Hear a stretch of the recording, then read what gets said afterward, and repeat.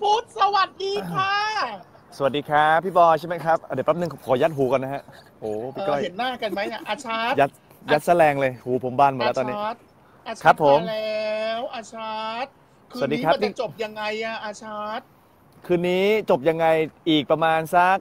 สองสามชั่วโมงครับ เดี๋ยวเราก็จะได้ทราบกันแล้วครับว่าตอนจบของใบไม้ที่ปลิดปลิวจบยังไง เพราะว่าเขาห้ามสปอยมันต้องไปดูสดครับผม เขาบอกมีสี่แบบ นี่ถามทุกคนนะเมื่อวานถามพี่แซมถามแม่อ้วนใช่ไหมครัถาบมหลายคนแม้กระทั่งถามใบเฟิร์นเองใบเฟิร์นยังไม่ตอบแล้วมันจบยังไง เพราะว่าพี่ป้อนนิพนธ์บอกกับพี่บอยบอกว่ามันมีสี่แบบจะจบก็คือนิราตาย นิราได้กับอาชัดนิราได้กับหมอ หรือนิราไม่ได้กับใครเลย อาชัดโอ้เขาบอกว่ามีรู้ไหแเขาบอกว่ามีจบเยอะ มีสี่แบบเลยเหรอครับเอออาชัดอาชัดรู้ไหมอะ ผมเป็นนักแสดงผมยังไม่รู้เลย คือผมรู้ว่ามันมีมันมีหลายแบบ แต่ผมไม่รู้ว่ามันมีกี่แบบ โอ้ครับ ถ่ายไว้หลายแบบหลายแบบ แต่ผมไม่รู้ว่ามีกี่แบบครับ ใช่ อืมอาชัด เรื่องครับนี้เนี่ยมันมันตัวละครทุกตัวเนี่ย ดังหมดเลยอะครับผม ทุกตัวที่เล่นดังหมดเลยอาชัดเห็นเห็นกระแสหรือได้รับพลังจากกระแสจากใบไม้ที่ปิดปลิวละครของช่องวันไหม ส่วนใหญ่ผมว่ากระแสที่ผมได้รับส่วนใหญ่ผมจะโดนด่าครับ ก็อาส่วนชัดใหญ่ เออส่วนใหญ่อาชัดแบบว่า คือคนก็จะเอ่อประมาณว่าอาชัดไปเลิกกับเมียก่อนไหม แล้วค่อยมาเออรักกับนิลาให้มันแบบเออให้มันถูกต้องตามศีลธรรมอะไรอย่างเงี้ยครับ เอาให้มันถูก อืมแล้วค่อยค่อยมารักกับนิลาอย่ามาทำให้นิลาแบบ ต้องมาเสื่อมเสียอะไรอย่างเงี้ยฮะ ครับผมอืมแต่ในเรื่องไงในเรื่องเนี่ย อาชัดก็เป็นแบบผู้ชายอบอุ่นที่แสนดี รักหลานตั้งแต่เด็กจนโต จนหลานโตมาแปลงเพศ ครับ เป็นผู้ชายอบอุ่นน่ะ ครับ คือก็คือกับกับหลานเราเนี่ยที่ที่เป็นนิลาตอนเด็กก็คือเราเราเห็นเข้ามาตั้งแต่เด็กตั้งแต่เป็นผู้ชายตั้งแต่เป็นเป็นชนันทวัฒน์จนจนเขาไปอยู่เมืองนอกกับแม่ เราก็ไม่ได้เจอเขาอีกแล้วอะไรเงี้ยครับภาพสุดท้ายที่เราจำได้ก็คือว่าเราเรารัก แล้วก็เอ็นดูเด็กผู้ชายที่หน้าหวานๆคนเนี้ยเพราะว่าเขาขาดความรักจากจากพ่อเขาอะไรเงี้ยแล้วเราก็เห็นว่าพ่อเขาก็ก็ทำร้ายคุณแม่ เห็นภรรยาเราเมียเรานี่รังร้องเนี่ยก็ทำร้ายรังแกเขาอะไรอย่างเงี้ยครับ เราก็จะรักเขาเหมือนเหมือนเขาเป็นหลานเราจริง ๆ ครับผม ออเออเอออาชัดเรื่องนี้ตอนอ่านบทครั้งแรกมันมีความแรงเนาะในกระดาษ แล้วพอถ่ายทอดออกมาเป็นเป็นละครเป็นทีวีเนี่ย มันก็อื้อหือปังอะครับอาชัดอาชัดกดดันมาตั้งแต่รับบทนี้เพราะว่าแต่ละคนที่มาเนี่ยมันฝีมือการแสดงระดับพี่แซมอย่างเงี้ยใบเฟิร์นก็เต็มที่กดดันมากแต่ว่าแต่ว่าคือเราเราสนุกที่ได้เล่นเป็นเป็นตัวละครแล้วแล้วพูดเองก็สนุกที่ ได้ร่วมงานกับนักแสดงเก่งๆ ทุกๆท่านเลยครับ ทั้งพี่แซมเองที่เป็นพระเอกในดวงใจที่เราเคยดูละครที่เขาเล่นแล้วแบบดูตั้งแต่เราเด็กๆ จนวันนึงแบบเฮ้ยเราได้มายืนถ่ายโปสเตอร์ข้างๆพี่แซมมันคือมันคือแบบสิ่งที่เฮ้ยเป็นไปได้ไงอะ่ะเออผมกรี๊ดอยู่ในใจอะไรอย่างเงี้ยครับเออพี่แซมก็เป็นเหมือนเป็นครูของเราอีกอีกคนนึงเปรียบเสมือนเป็น เป็นคุณพ่อประจำกองเพราะว่าพี่แซมแกน่ารักมาก พี่แซมแกจะแบบคอยแนะนำสิ่งที่ดีให้กับนักแสดงหรือแกจะชอบซื้อของกินอะไรอย่างเงี้ยครับมาฝากทีมงานเวลาวันที่แบบถ่ายทำกันเหน็ดเหนื่อย เพราะว่าละครใบไม้ที่ปิดปลิวอย่างที่ทราบกันว่า มันถ่ายถ่ายไปออนไปอะไรอย่างเงี้ยครับครับ แล้วนักแสดงท่านอื่นๆอย่างใบเฟิร์นเงี้ยใบเฟิร์นนี่คือการร่วมงานกับใบเฟิร์นครั้งแรก แล้วเราเห็น น้องตั้งแต่ตอนที่ไปเวิร์กช็อปกับครูเงาะด้วยกัน คือเขาเป็นเป็นเด็กที่เอ่อตั้งใจแล้วก็เป็นเด็กที่มีความสามารถมาก ๆ แล้วนักแสดงท่านอื่น ๆ อีกพี่แตงโม พี่บุ๋มพี่หมอพี่หมอเบนพี่อ้วนพี่รัศมีแขคือทุกคนเก่งแล้วก็น่ารักกันหมดเลยครับในเรื่องนี้ครับอืมคุณผู้ชมที่ชมดูทางไลฟ์เฟซบุ๊กขณะนี้แซวนะ บอกว่าหน้าตาครับแบบเนี้ยไม่ใช่อาชัชอันเนี้ยครับคือสามีพี่จุ๋ย ครับ คือ คือเดี๋ยวคืนนี้ก็จบแล้วนิราอาชัชกับนิราจะจบคืนนี้จะจบแล้วครับ นี่คือวันนี้อยู่กองละครนะครับ แต่ว่าก่อนที่จะมาไลฟ์เนี่ยคือไปถ่ายซีนตกน้ำไปช่วยนางเอก จมน้ำมาครับ สภาพก็เลยเอ่ออยู่ในสภาพหัวฟิบรอๆหน้าสดๆนิดนึงนะครับ ต้องขออภัยด้วยอย่ามาอย่ามาพูดว่าหน้าสดค่ะ คุณผู้ชมที่ชมอยู่หล่อเหมือนเดิมค่ะ ครับ หล่อเหมือนเดิมเนี่ยแล้วตอนนี่เราลุ้นมากเลยนะ เราลุ้นคิวพุทธมากเลยกลัวไม่ได้คิวพุทธเพราะว่าพุทธเนี่ย มีแต่คน request เรียกร้องอยากให้มาไลฟ์อะครับผมดีใจมากครับที่วันนี้ได้ได้มาไลฟ์ครับเพราะว่าตอนแรกเอ่อพี่ก้อยโปรดิวเซอร์กอง Boss and Me ก็บอกว่าเออพี่พุฒเดี๋ยววันนี้จะมีไลฟ์นะ น่าจะประมาณสักช่วง 6 โมง แต่ไม่รู้ว่าเราอะกำลังจะถ่ายทำซีนตกน้ำกันอยู่หรือเปล่า เพราะว่ามันค่อนข้างที่จะใช้เวลานานพอสมควร แต่โชคดีว่าเสร็จก่อน ครับ ก็เลยได้ได้มาไลฟ์กันแบบยาวๆครับ ด้วยเรตติ้งด้วยกระแสใบไม้ที่ปลิดปลิววันนี้ก็ถือว่าประสบความสำเร็จพุฒอยากจะพูดขอบคุณหรือว่าพูดถึงละครเรื่องนี้ไหมเพราะว่าพุฒเล่นละครมาเยอะ กระแสก็มีครับมาต่อเนื่องแต่เรื่องนี้เนี่ยมันมันมันมีทั้งกระแสบวกกระแสลบสำหรับตัวที่แสดงถูกไหมครับผม ก็จริงๆขอบคุณผมขอบคุณพี่ชอตขอบคุณพี่บอยพี่ป้อน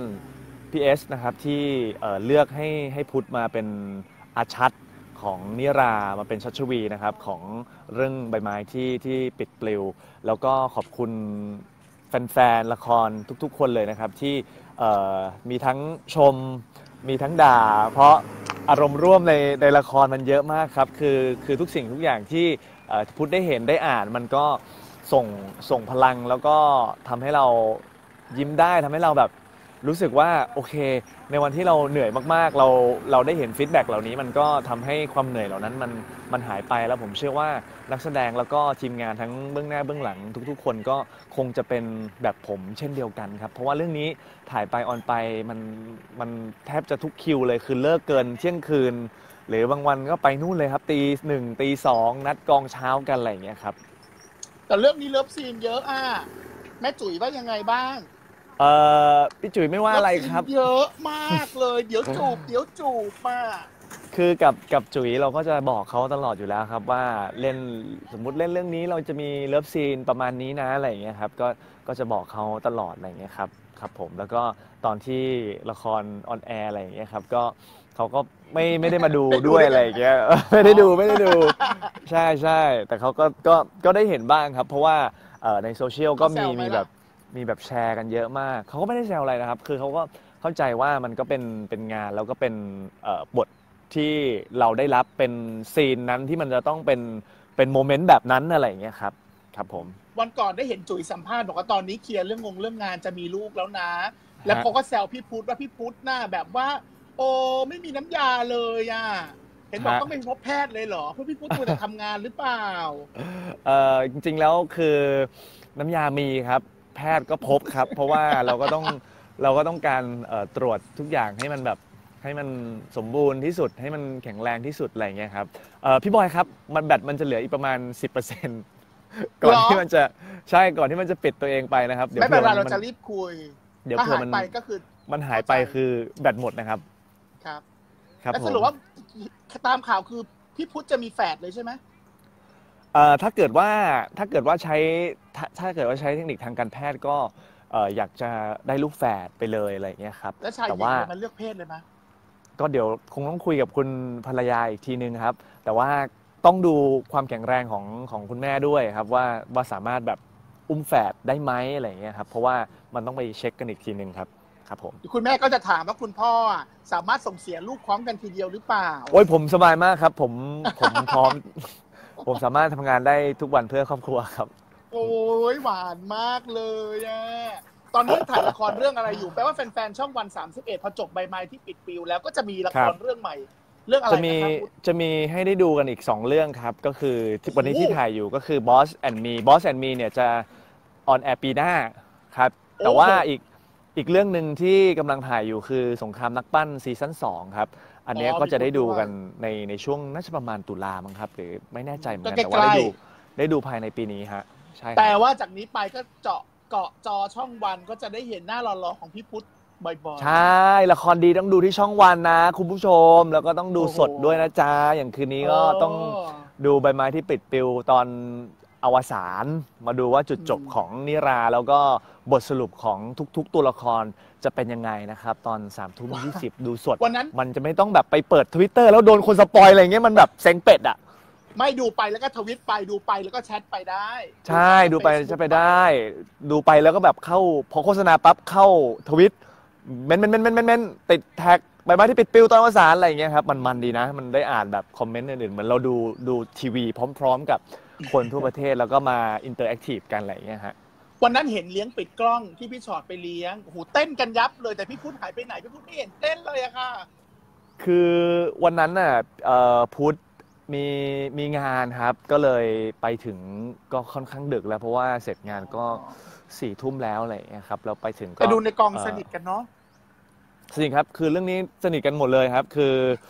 เป็นนักแสดงที่น่ารักมาก แล้วก็อย่างบางคนเราก็เจอกันมาหลายเรื่องแล้วอะไรอย่างเงี้ยครับรวมถึงทีมงานเอ่อพี่กู่เก้งกังเก้งกวางแก๊งเอ่อทีมของพี่ชอตพี่เอสอะไรอย่างเงี้ยครับก็ทำงานด้วยกันมาหลายเรื่องแล้วมันก็เลยสนิทกันครับครับผม คุณผู้ชมคะไม่ต้องมาบอกค่ะว่า โอ้ยหน้าพี่พี่พุทธหล่อ นี่เขาไม่ได้แต่งหน้านะคะเขาโนเมคเลยค่ะเขาบอกเขาถ่ายซีนตกน้ำมาแล้วเนี่ย แล้วเป่าผมออกมาแห้งๆ ไม่ได้เซ็ตเลยยังหล่อขนาดนี้อะค่ะ ตาบวมมากแม่ หล่อหล่อเหมือนเดิมครับเออยิ้มยิ้มทุกคนก็บอกว่าพี่พี่พุทธยิ้มหวาน พี่พุทธยิ้มหวาน ไม่อยากให้จบเลย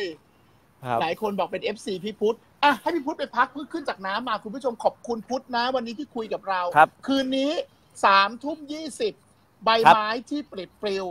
แน่นอนเข้มข้นเมื่อคืนก็เข้มข้นแล้ว ลุงพลก็ตายซะแล้วน่าสงสาร โอ้สงสารมากสงสารลุงพลมาก คือลุงพลเป็นตัวละครที่ผมผมชอบมากเลยนะ ตอนที่ที่ผมอ่านบท ผมรู้สึกว่าลุงพลเปรียบเสมือน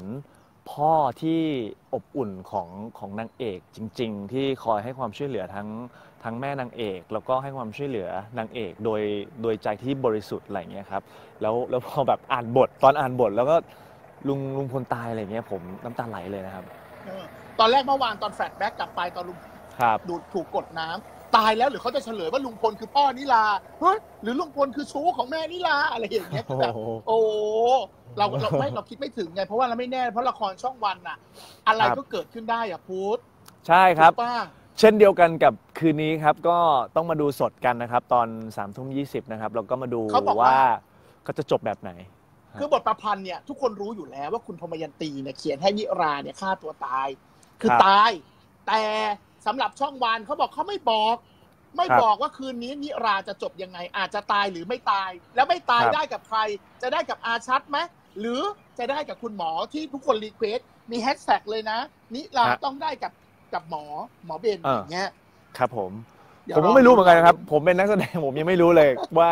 สรุปแล้วคือมันมันจะแบบมันจะไปในทิศทางไหนก็อย่างที่บอกครับว่าว่าดูสดพร้อม ๆ กันครับ จะจะได้รู้ว่า จุดจบเป็นยังไง เพราะว่าถ้าดูหลังจากนั้นดูรีลัน เดี๋ยวพอคนนู้นเขาดูสดไปแล้วเขาแบบ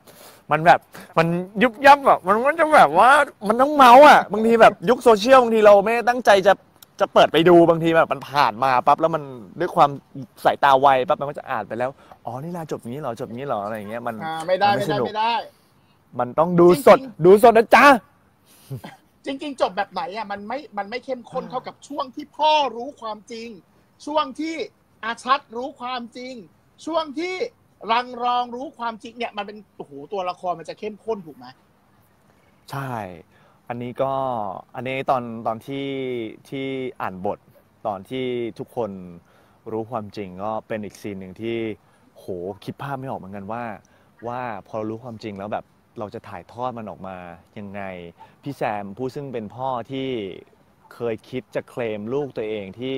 ผ่าตัดแปลงเพศมาแล้ว ถ้าวันหนึ่งเขารู้ความจริงว่า นี่คือลูกชายของเขา เขาจะพังทลายขนาดไหนอะไรอย่างเงี้ยครับ รวมถึงตัวละครอื่น ๆด้วย ก็เดี๋ยวลองลองดูแล้วกันนะครับ ในใบไม้ที่ปลิดปลิวในคืนวันนี้ครับ คือตอนตอนที่อาชัชรู้ความจริงเนี่ยพุฒเล่นเล่นยากไหมตอนตียากความมากตอนที่เล่นน่ะ มันยากยากบทมากหนึ่งในชีวิตว่าที่ผ่านมาเนี่ยยากมากเลยครับ คืออันเนี้ยคือตอนไปเวิร์กช็อปกับครูเงาะ ที่ตอนนั้นไปไปพร้อมกับใบเฟิร์นอันนี้จะเป็น เป็น scene ที่เรารู้สึกว่าเรากังวลมาก เพราะว่าเราไม่เคยมีมีเขาเรียกว่ามีประสบการณ์ชีวิตอะไรแบบนี้มาก่อนอะไรเงี้ยเราก็จะไม่รู้ว่า เออมันมันจะไปมันจะไปทางไหนมันจะมันจะเป็นยังไงนะอะไรอย่างเงี้ยครับครูเงาะก็ก็มีการแบบเอ่อเวิร์กช็อปสิ่งเหล่านี้เติมมาให้ในในตัวละครของชัชวีร์้วยครับ บอกให้อาชัชหลีกทางให้หมอเธอะอาชัชอะ เรื่องนี้อาชัชน่ะหล่อหล่อแต่คนไม่รักง่ะหล่อแต่ไม่รักคืออะไรอะรักหมอแล้วก็แบ่งมารักอาชัดบ้าง อาชัดน่ะรักนิลาเออจริง ๆ นะ เออ ก็อาชัดอาชัดไม่ยอมเลิกกับลังรองก่อนไงอาชัดอะอาชัดอะอยากเลิกกับลังรองแต่ว่าลังรองอะไม่ยอมเลิก เออเขาไม่ยอมยังไงหัวเด็ดติ้งขายยังไง เขาก็ไม่ยอมหย่า แล้วมันก็มีสัญญาเรื่องเซ็นเอาไว้ว่าจะต้องทำงานให้ตระกูลสิริวัตรอ่ากี่ปีนู้นนี่นั้นอะไรอย่างเงี้ยฮะในอืมในอืมดีเทลปลีกย่อยอะไรอย่างเงี้ยครับ ครับผม เอออาชัดถามหน่อยสิ อยากครัรู้บมากเลยอะมะนาวมันจะครับจบยังไงมะนาวมันจะโดนไหมนางมะนาวเนี่ยมะนาวเหรอครับ จุดจบของมะนาวก็อยู่ในหม้อต้มยำฮะเฮ้ย ต้องบอกหน่อยสิ มะนาวเนี่ยคนอยากรู้มากเลยว่าคืนนี้มะนาวมันจะเป็นยังไง เพราะมันแสบมากเลยอะ คือผมไม่สามารถเอ่อสปอยได้ว่าจุดจบของแต่ละตัวละครมันมันจะเป็นยังไง เราพูดไปอย่างนี้ดีกว่าว่า แซ่บใช่ไหใคมรจบแซ่บใช่ไหม ใครทำอย่างไรก็จะได้ผลตอบแทนอย่างนั้นจะช้าหรือเร็วยังไงสุดท้ายแล้ว มันก็จะมีผลตอบแทนของมันอยู่แล้ว อืมบาปกรรละมคตาร มทันละครเหมือนชีวิตจริงครับครับอืมจบ หล่อแบบหน้ามากเลยอะพูดหน้าอะไรขอบหน้าอะไรจ๊ะหน้าเธอไงหล่อๆใสๆอย่างเงี้ย ขอบคุณพุทธมากนะพี่บอยขอบคุณจริง ๆ ดีใจขอบมากคุณมากครับเลยขอบคุณมากครับที่ได้ยกันแฟนๆดูเนี่ยติดต่อกันเยอะมากวันนี้ดูสี่พันกว่า ครับผมไม่ลดเลย